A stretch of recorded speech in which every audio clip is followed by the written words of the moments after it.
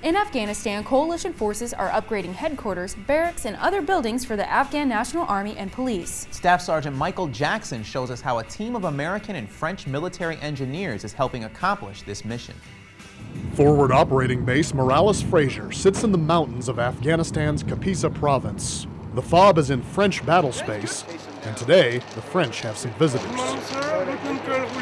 This visit today is to combine on our effort on several uh, expansion projects. We're going to have a, um, a, brigade HQ coming in, so that's a lot of, uh, lot of infra new infrastructures to build.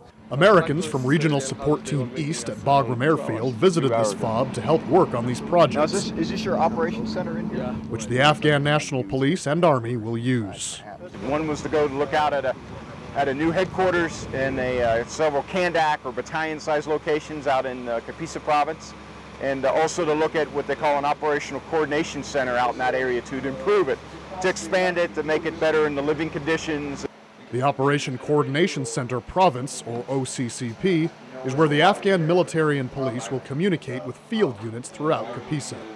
It'll be in the village of Mahmud Raqi. We go ahead and make sure that the land is going to be acceptable for use and that the Afghan government wants us to use that land.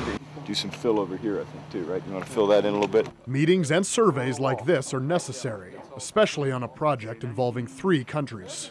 You had everybody there. You had U.S. there because we're helping do the builds on a lot of the facilities. You had the French there because they're the partner and you had the Kandak or the battalion commander that was out there also for the reconnaissance because whatever we build or turn over to them is going to be theirs. So they have a major input in, in what goes on.